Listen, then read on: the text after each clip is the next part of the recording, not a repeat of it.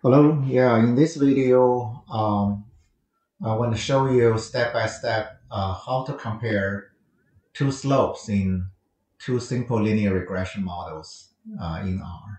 Okay, so the problem is uh, if you have um, two simple linear regression models fitted, uh, they have their slope estimates.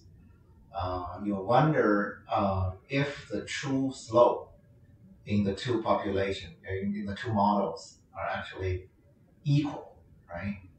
Um, then this is a way for you to really um, do a hypothesis testing for that, okay?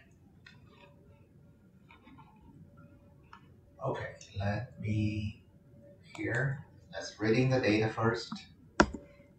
And then um, In this data set, we have uh, uh, SBP as the dependent variable and the BMI as an independent variable. Uh, we do a log transformation of both variables to improve normality of the data. And we fit a model one for males and a model two for females. Okay. And to do that, uh, you when you use the LM function, uh, you look at the subset option. And for example, here you get uh, subset uh, parenthesis sex equal to 1 that will use only the data for which sex equal to 1. Okay, so that's how you fit a linear regression model for a subset of a data set. Okay, okay let's uh, fit the two models and then let's take a look. So um, you can see um, for the these two models, um, the BMI both are significant, um, and the slope for the log BMI is 0.27, and uh, the log BMI, the slope uh, for the females is 0.39. So yeah, they're still close to 0.3 both, right? But we wonder if well, there's a statistical difference between these two slopes.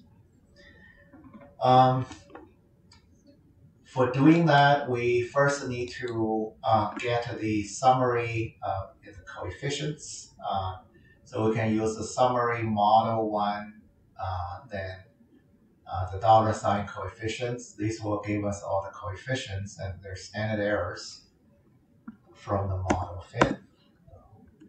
And then uh, we can extract uh, the slope estimates uh, and their standard error estimates from this uh, coefficient summary. We do this for both males and females. Uh, and we need to convert the standard error to standard deviation. So we need to extract the sample sizes.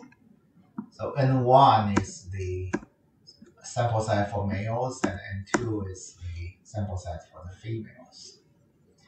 And after that, we can convert the standard errors to standard deviation. And then we need to uh, use a library, R library called the BSDA. Uh, so uh, here I already pre-installed this uh, package, so I will just directly load it into R. Um, so the, fun, uh, the function for testing equal slopes is the tsum.test. Okay, and this is actually um, we is the implementation of the independent sample t-test uh, well using summary statistics only. So you can see we only use the sample mean, sample standard deviation, and sample size um, of the two groups. Uh, we don't have the raw data from the individuals. So these are all summarized statistics. Okay, so let's run this. Um, and uh, the p-values are really small, so it's uh, there's a difference between the two slopes. And remember when we uh, look at the uh, standard uh, deviations, uh, they they look close. Uh, so may, we may want to try the equivariance version uh, for this tsum dot test. And we can rerun this test by specifying var dot equal equal to true. Okay. And now we have uh, still have a very significant um, p-value. And again, the uh, the true differences um, is not equal to zero. Okay.